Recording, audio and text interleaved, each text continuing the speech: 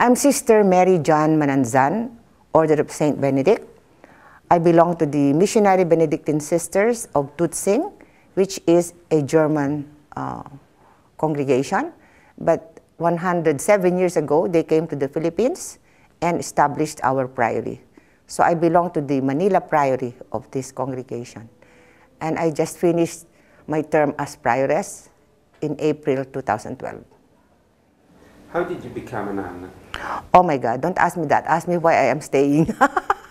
because, because I was very young. I was only 19 years old and I was studying in the school of the sisters. So I was there since I was 11 years old and I brought the books of the sisters. So I said, might as well enter this place, you know. And so that's why I always say, ask me why I, I, I stay because I entered out of inertia, I think, because I'm there all the time. So I said we might as well continue and see whether, whether I would like this life. And as I went on with my life there, I found more and more reasons to, to stay and to see the meaning in religious life. My understanding of being a prophet is to announce the good news and to denounce the bad news. So in other words, to announce the good news means, well, to live in our lives what we want people to, to live which is the gospel of Christ, which is to love people. But the second one is a little bit more tricky. It's about denouncing uh, what is uh, bad news. And there's so much bad news in the world today. You know, all the injustices, all the oppression, all the, all the corruption. And we believe that as religious, we have, a, we have something to do about that. We cannot say we are just in the convent praying. No, we have to get involved in society. That's what we believe in oh, if I'm a follower of Christ and Christ has an option for the poor, then I must also have an option for the poor. Otherwise, I'm not the follower of Christ. So when we look at that, well, if Christ has option for the poor, I must be in solidarity with the poor. And what were the poor doing in my country? They were fighting for their rights. You know, the workers are fighting for their wages and for good working conditions. The farmers are fighting for their land because a lot of Filipinos don't own their land the urban poor are fighting for housing. The women are fighting against sex slavery and uh, prostitution and, and discrimination against uh, in society.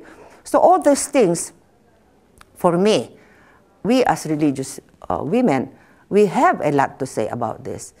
And I think that is our prophetic role in this, in this uh, society.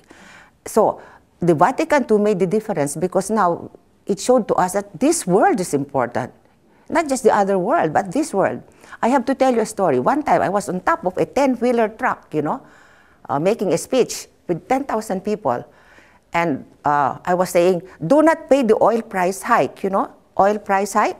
Because if you pay it, all the basic commodities will also uh, go up and all the poor people will suffer. And then a policeman came and told me, you are a sister. I said, yes. And she said, oh, why are you talking about all price hike and, and wages? You ought to talk about mortal sin, venial sin. You ought to talk about the soul of people. And I asked him, do you see any soul walking about here? You know, what I see are people, body and soul.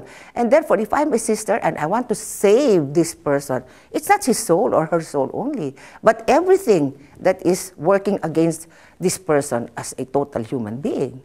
Well, I was talking to 800 superior generals, which was overwhelming. And what I have tried to say is, you as superiors, you certainly have power. But how do you use your power? You can use your power to dominate, uh, to uh, make yourself boss, but you can use also for service. That means to say how to develop your gifts and the gifts of all your sisters. And not only that, but to put together all these gifts for the good of the institution and of the church. So that is what I'm trying to say. Use your power for the kingdom of God and not for your ego. That is my, that is my message.